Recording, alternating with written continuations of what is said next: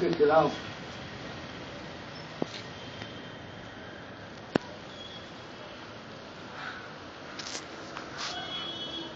ऐसे ही कुछ कार्य उनके माध्यम से हो रहे हैं। हमें लगता है।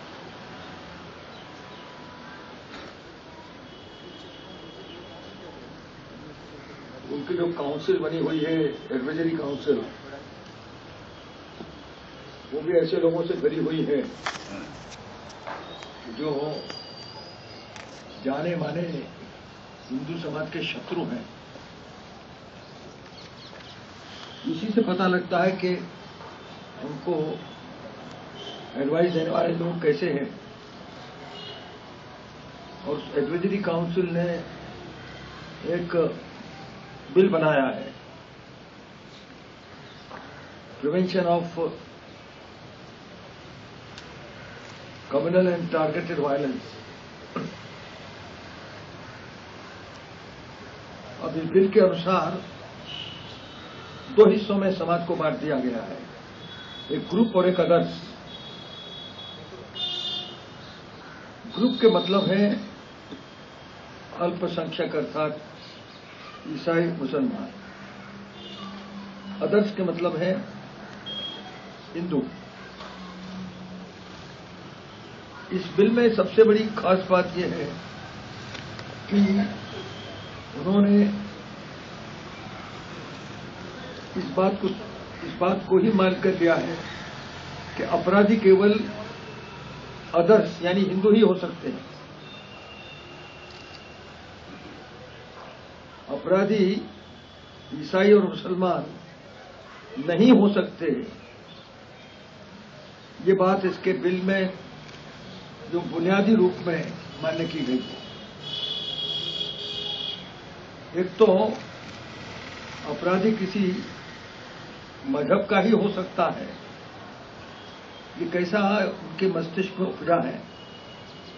और वो भी हिंदू धर्म का मानने वाला यही अपराधी हो सकता है। और फिर अपराध के किस्म क्या बताए गए हैं? कि अगर किसी मुसलमान को मानसिक क्लेश होता है तो वो पिटिशन दाखिल कर देगा। और भी आश्चर्य की बात यह है कि जब पिटीशन दाखिल करेगा कि किसको मानसिक क्लेश हुआ है, कष्ट हुआ है तो जिसके खिलाफ करता है, उसको बंदी बनाया जाएगा। उसकी जायदाद कुड़क कर ली जाएगी। और उसको यह जानकारी नहीं होगी कि उसके खिलाफ किसने मुकदमा किया। उसको जानकारी ही नहीं होगी कि किसके किसने मुकदमा किया। उसका काम केवल इतना ही है कि उसको अपनी सफ़ाई पेश करनी पड़ेगी। यानी अपना इनोसेंस उसको अपनी सफ़ाई उसको देनी पड़ेगी।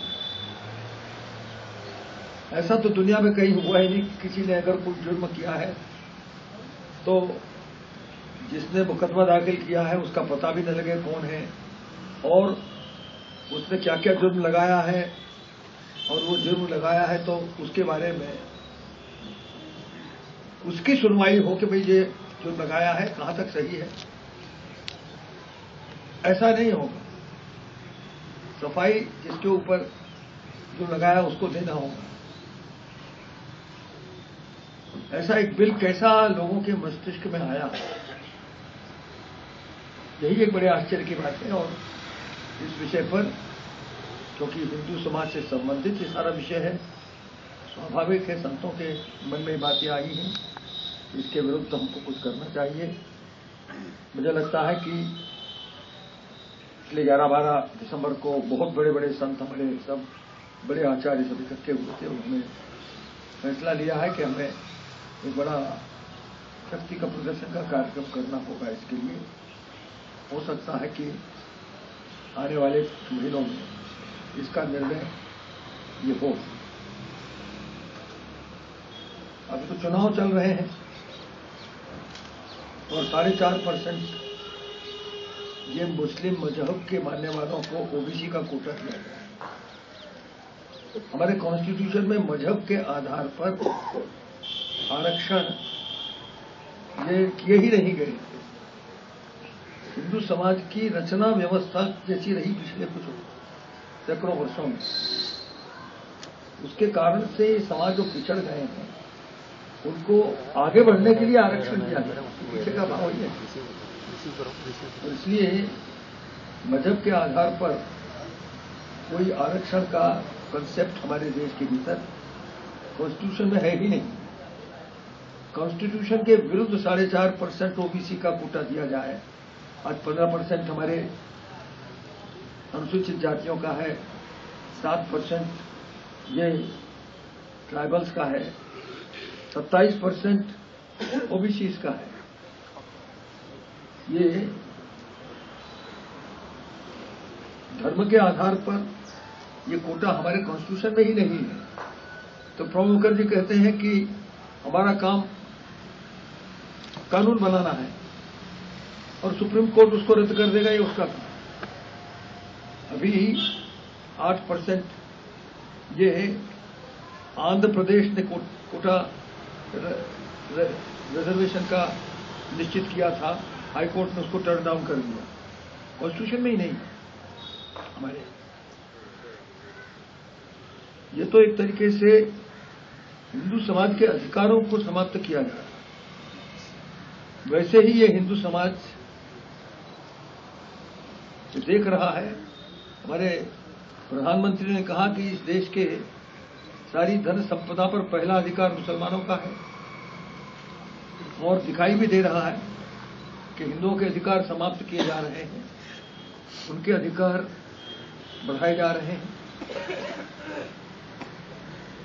हिंदुओं का अधिकार तो हमारे राम जन्मभूमि पर भी नहीं स्वीकार किया। बड़ा आश्चर्य है कि दुनिया में लोग आश्चर्य करेंगे कि भाई इस देश के भीतर भगवान राम का पैदा कहाँ पैदा हुए जहाँ सौ करोड़ हिंदू मानता है कि भाई ये अयोध्या में इस स्थान पर उनका जन्म हुआ। है रामकोट में उनका जन्म हुआ उसको भी साठ वर्ष लगते हैं और कोर्ट निर्णय करता है कि भगवान राम कहाँ पैदा हुए तो हिंदुओं का अधिकार इस भारत पर है, ऐसा अभी लगता नहीं है। हिंदू कोई अपने अधिकार की बात अगर करता है तो उसको कहा जाता है कि हिंदू के मतलब ही कमनल के हैं। और कमनल माने गाली। हिंदू एक गाली हो गया। हिंदू एक गाली हो गया है कि हिंदू होना एक अपराध हो गया है, अपराधी हो गया है। और वास्तव में जो बिल लाया गया है, ये सही लाया गया क्योंकि हिंदू यानी अपराधी, हिंदू यानी कमनल ये जो धारणा लेकर के हमारे देश के भीतर, जिनको हम धर्मनिरपेक्षवादी कहते हैं, आज ये स्थिति है। और हिंदुओं की भावना का कोई भी हिंदू गौ हत्या को और सहन नहीं कर सकता। ये हिंदू की पहचान है। हिंदू की अगर परिभाषा करें परिभाषा है। मगर अभी बारहवीं जो योजना बनी है पंचवर्षीय उसमें बीफ का निर्यात यहाँ भारत में हो। भारत को सबसे बड़ा मांस निर्यात का देश बनाना चाहते हैं। उससे हज़ारों करोड़ की आमदनी करना चाहते हैं।